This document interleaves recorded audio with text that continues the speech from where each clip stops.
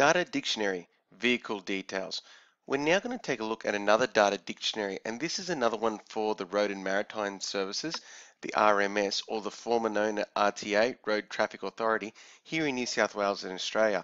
And basically, this time, this database will be used to register actual vehicles. So it needs information about all the vehicles within the state and store them in this database so it's on their records.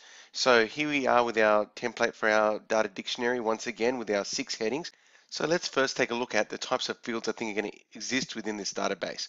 So we have our vehicle ID and that vehicle ID will likely be the vehicle's number plate. Every single vehicle across the world has a number plate on it.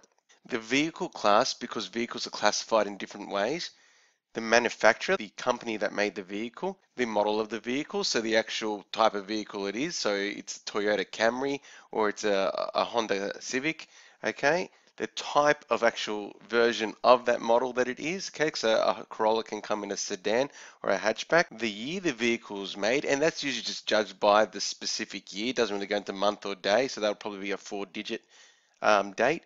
And then the color of the vehicle is usually kept on hand too, okay? Is it blue, black, gray, whatever. Okay, so as always with these databases, the ID field is our primary key. And as mentioned, that would be based on the vehicle's number plate. And that number plate isn't just used by the RMS now either. Okay, there's now parking stations that read number plates. Um, obviously, the police have number plates on records too when they're doing their um, speeding tickets. So th there's a whole variety of areas that this ID would be used. Okay, and we need to keep that in mind if we use this database in a relational model. Let's now look at the data types that are going to be used for this actual uh, database.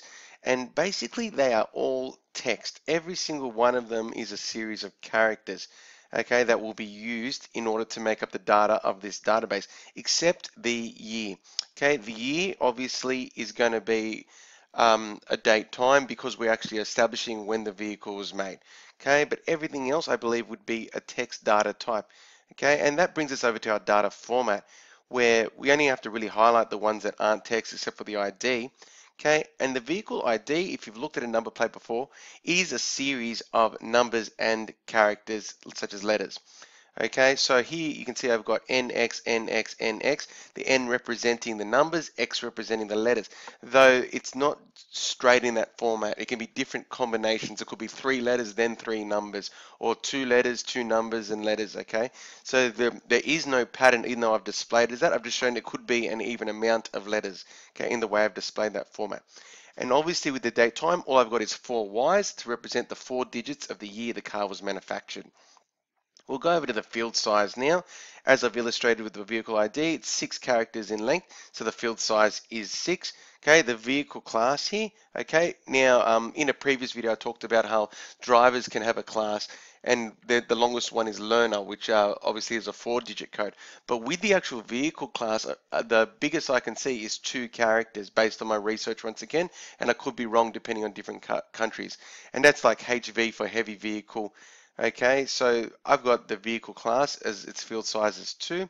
Manufacturer, because it's a name, it can be anything up to 15 characters. Okay, and that goes the same with the model and the type. Okay, they're all names. They're likely going to be less than 15 characters, but I've got to make sure that nothing's longer than 15 characters. Otherwise, it's not going to fit the character length into my database record.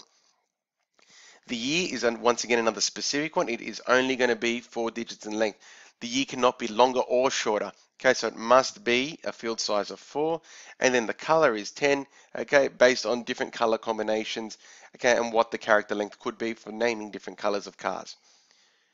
We'll describe all these fields here. So obviously in the vehicle ID, I've actually said it is the ID displayed on the number plate, okay, the number plate of the car.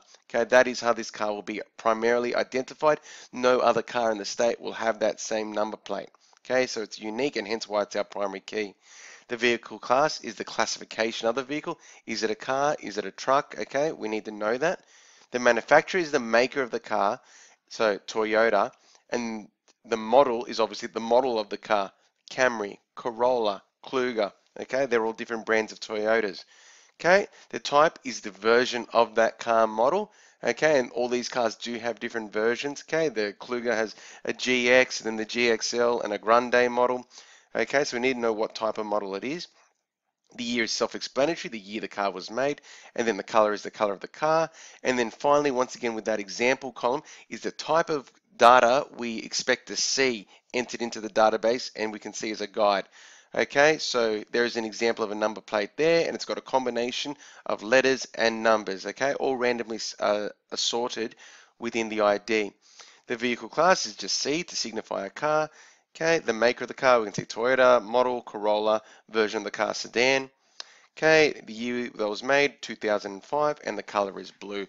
So I hope this is a pretty straightforward and simple example of how we could create a data dictionary to, for a database that stores vehicle details that could be used by the RMS here in New South Wales.